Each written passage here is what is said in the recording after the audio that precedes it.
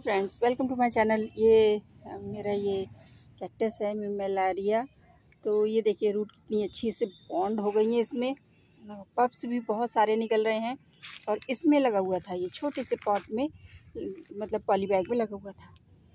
तो मैंने सोचा इसे चलो रिपोर्ट कर देती हूँ. मिट्टी भी नॉर्मल ही. सैंडी सॉइल जो मेरे सभी गार्डन की प्लांट में यूज़ होती है, वही है.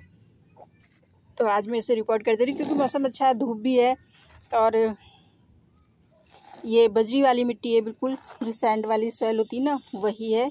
तो इस तरह से मैं ये होल कर ले रही हूँ इसमें, ऐसे करके, और इसे यहाँ पर रख करके थोड़ी सी मिट्टी इसकी लूज़ करूँगी।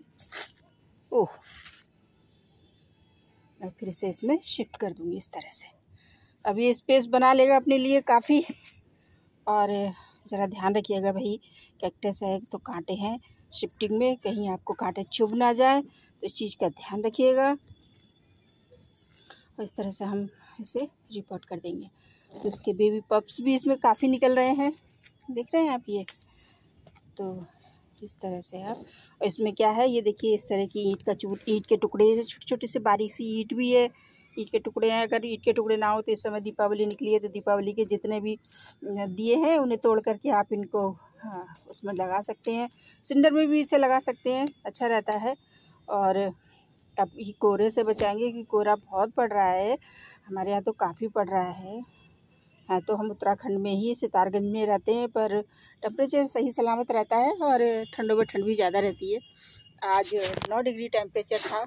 अभी शायद थोड़ा बढ़ गया होगा। सुबह में था सात डिग्री, फिर आठ हुआ, नौ हुआ और इस समय दस या ग्यारह होगा। तो ये इस तरह से रिपोर्टिंग करें। और पानी में नहीं डालूँगी क्योंकि ऑलरेडी मिट्टी की मॉइस्चर था इसमें और इस तरह से रिपोर्टिंग हो गई। तो आप भी अभी कैक्टस को पहले तो बात तो डिस्टर्ब मत कीजिएगा। अगर थोड़ी सी दिक्कत हो रही है तो चलो ठीक है रिपोर्ट कर दीजिएगा। हाँ कोई दिक्कत नहीं है। पप्स वगैरह अलग मत कीजिएगा।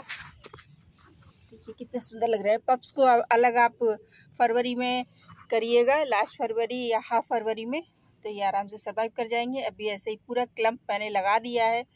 और येलो कलर के फूल आते हैं, बहुत खूबसूरत लगते हैं। तो ये मेरा छोटा सा वीडियो है आपके लिए।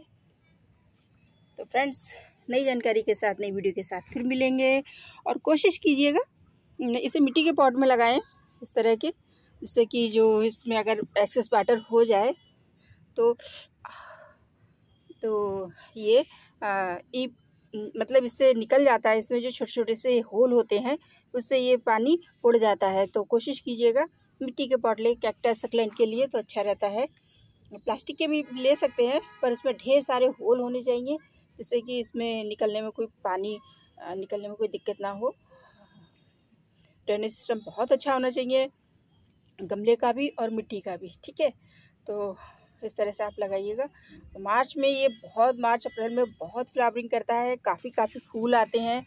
तो ये काफ़ी मेच्योर कैक्टस है। डेढ़ साल हो गया है मुझे लगाए हुए इसे हाँ इसे इस तरह के पप्स से मैंने लगाया था। तो अब देखिए, काफ़ी बड़ा हो गया है। इसके अंदर कितने पप्स हैं? एक, दो, तीन, चार, पाँच। पाँच बेबी पप्स पप्स इसमें आ रहे हैं। जब फूल खिलते हैं येलो कलर के तो बहुत सुंदर लगता है। टिनी टिनी फूल खिलते हैं। अच्छा लगता है। तो फ्रेंड्स नई जानकारी के साथ, नई वीडियो के साथ फिर मिलेंगे। तब तक गार्डनिंग करते रहिए, खुश रहिए। Bye bye